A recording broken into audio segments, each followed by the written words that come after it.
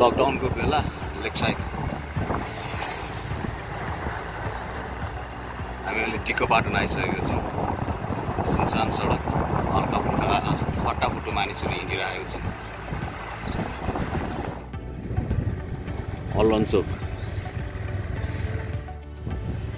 अत्यन्त व्यस्त हुने सहर पोखरा सहरमा लेक साइडको अहिले हालको अवस्था लकडाउनको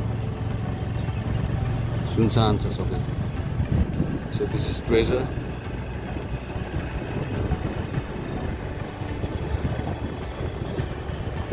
अहिले त कुकुरहरू पनि हिँडेन त कता गयो यहाँ कुकुरहरू यार? बिचरा यार। ओसन गल्ली सेन्टर पोइन्ट सामान्य पानी बोक्ने यस्तो गाडीहरू दुधको गाडीहरू खाद्यान्नको गाडीहरू मात्रै अहिले हालमा चाहिँ कुदिरहेको छ। लेग साइडको फुड ट्र्याक लेग साइडको फुड ट्र्याकमा नि लकडाउनको गहिरो प्रभाव परेको छ। यहाँ सुनसान छ। तपाईँ देख्न सक्नुहुन्छ कोही पनि मानिस छैन। खासै अहिले मानिसहरूको चलपल चाहिँ अहिले दिनमा चाहिँ खासै भएको छैन यो ठाउँमा।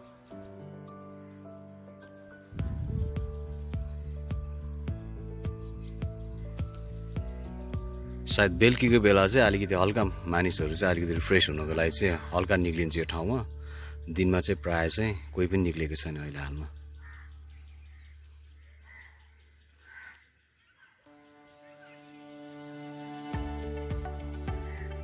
तालब्राई मन्दिर। निकै नै व्यस्त हुने ठाउँ जहाँ तालब्राईको दर्शन गर्न विभिन्न ठाउँबाट पर्यटक विदेशी पर्यटक तथा नेपालकै भित्र आन्तरिक पर्यटकहरू आउने ठाउँ। अहिले चाहिँ मन्द छ सुनसान छ। एउटा पनि बोट चलेको छैन। Go green keep clean Pokhara. र हालमा चाहिँ यो लकडाउनले चाहिँ एउटा फाइदा चाहिँ के गर्छ भने इन्भाइरोमेन्ट चाहिँ अलिकति सफा चाहिँ भइरहेको छ। इन्भाइरोमेन्ट चाहिँ अलिकति सफा भइरहेको छ। लाइक देख्न सक्नुहुन्छ यो सम्पूर्ण रुखहरू कतिपय हरियाली छाएको छ बाटो पनि एकदम सफा भएको छ। एउटा फाइदा भनेको चाहिँ इन्भाइरोमेन्ट चाहिँ एकदम स्वच्छ भएको छ यो लकडाउनले गर्दा र तर पोखराको बाटोहरूमा चाहिँ के कस्तो देखिएछ भन्दाखेरि लेक साइडको बाटोमा जति पनि यो अहिले नाला वा पाइप सायद त्यो खानेपानीको पाइप हो कि नाला त्यो चाहिँ अलिक लकडाउनभन्दा अलिकति अगाडि चाहिँ मेन्टेनेन्स गरिएको थियो। त्यो माथि चाहिँ अलिकति कालो पत्र भनौँ न रोड चाहिँ अलिकति पिच नगरेको कारणले गर्दा र अहिले चाहिँ पानी परिराख्ने अवस्था त्यसले गर्दा चाहिँ अलिकति खाल्टाखुल्टीहरू चाहिँ देखिरहेको छ। सायद अब यो बेला अब सरकारले अब खास पिच गर्दा चाहिँ एकदम राम्रो हुन्थ्यो तर फेरि लकडाउन छ सोसियल डिस्टेन्स मेन्टेन गर्नुपर्ने हुन्छ। अब पिच गर्दा नि नमिर्ने है एकदम गाह्रो अवस्था। तर रोडहरू चाहिँ जस एकदम निट एन्ड क्लिन भइरहेको छ जस यो टाइममा। त्यो अलिकति प्रब्लम देखेको रोडमा खाल्टाखुल्टी दिएछ अब गाडीहरू पनि गुडेछैन केही पनि गुडेछैन सायद यो पछिको लकडाउन खोलिसकेपछिको क्रममा सायद सडक विवाद प्लस नेपाल सरकारले चाहिँ अलिकति ध्यान दिएर चाहिँ यी कुराहरूलाई चाहिँ वर्कआउट गर्न पर्ने हो भन्ने चाहिँ मलाई चाहिँ लागिरहेको छ। सो बन्दको अवस्थामा हल्का अब क्याफे खोलेर कफी खान चाहिँ हामी आइरहेको छौँ। सो भैया सानो क्याफे सबै कुराहरू छरपस्त छ बन्दले गर्दा सो आज चाहिँ हामी चाहिँ यो अहिले भर्खर चाहिँ हामीले चाहिँ यो किनेर ल्याएका छौँ जाल्पा कफी। यो बिन्स चाहिँ नयाँ बिन्स। लेट्स ट्राई भनेर चाहिँ यहाँ आएको हो। हेरौँ यसको टेस्ट कस्तो हुन्छ। होइन कतिको मिठो छ के छ। एकताल झारौँ मिसिनबाट झारेर खाउँ अनि अल्छेली कस्तो हुँदो रहेछ भनेर है। बसिन्छ। कफी खान्छ एकछिन machine ताप्दैछ।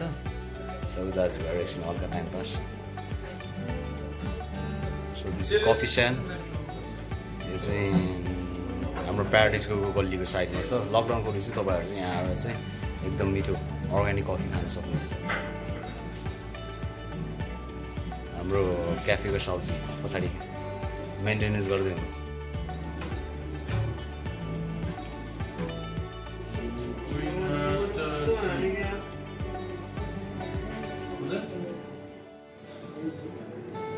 So this is city bike यो चाहिँ खास गरी चाहिँ सहरहरूको लागि टाउनको टाउनमा चाहिँ चलाउनको लागि मात्रै बनाएको cycle this is not made for off road सबै पिच रोडहरूमा चाहिँ गुडाउनुको लागि चाहिँ एकदम दामी हुने साइकल यो चाहिँ।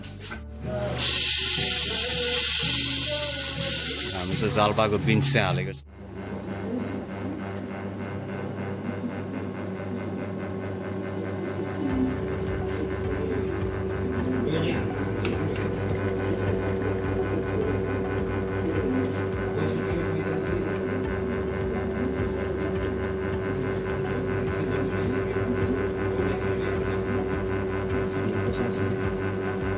भिन्दा ल्यान्ड सर्ट हो टाइट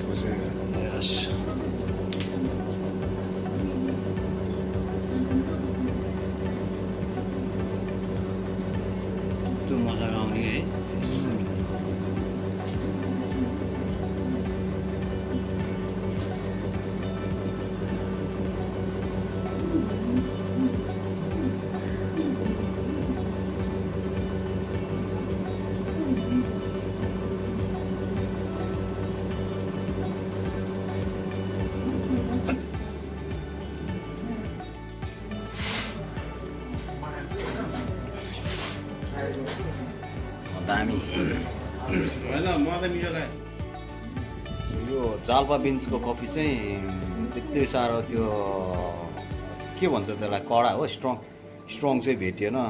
एकदम राम्रो छ इट्स माइल्ड है मजाको टाइपको माइल्ड टाइपको छ।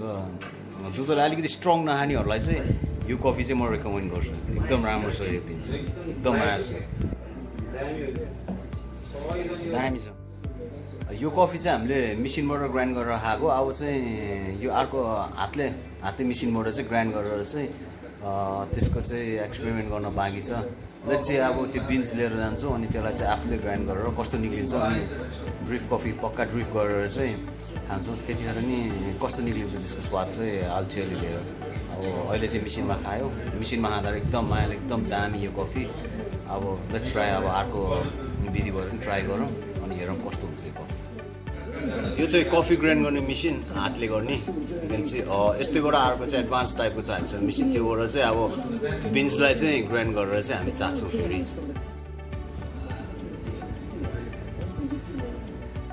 यो चाहिँ अर्को कफी बनाउने पट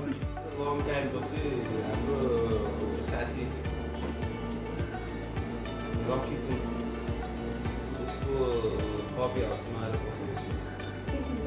आफ्नो रोहित यादव धेरै पछि कति भयो? एक एक महिना पछि होला बल्ल यो मिसिनको कफी खाएको एक महिनै भयो। अराउन्ड एक महिना पछि चाहिँ बिचमा चाहिँ लकडाउनको बिचमा दुई तिन पटक त मैले खाएँ। तर बेन्च बेन्च बेन्च फरक थियो बिन्स फरक थियो। हामीले प्रायः मासु होइन अहिले मैले त्यहाँ चालपा कफी यो नयाँ कफी जालपा कफी हेर्दै कस्तो रहेछ है? एक्सपेन्सिभ पनि रहेछ नि मासु भन्दा? मासु राम्रो छ। फिफ्टी ग्रामको कति? सिक्स सिक्स जिरो रहेछ यार है? भेरी एक्सपेन्सिभ यार। खोल हेर्दै खाम खाम खालके छ हेर्नु न। कति ग्राम गर्यो त है कलर दुई सय पचास ग्रामको चाहिँ सिक्स हन्ड्रेड डबलै पर्छ थ्री फिफ्टी भन्छ नि त मासु पुस्रोको त लगभग हामीले अनि पहिला गरेको बिन्सलाई चाहिँ लाइक आधा किलोको लागि चाहिँ कति कति सात सयमा पाउँथ्यो त्यही यो दुई सय ग्रामकोलाई छ सय एकदम राम्रो छ क्वालिटी पनि राम्रो छ एकदम माल टाइपको कफी पनि एकदम राम्रो छ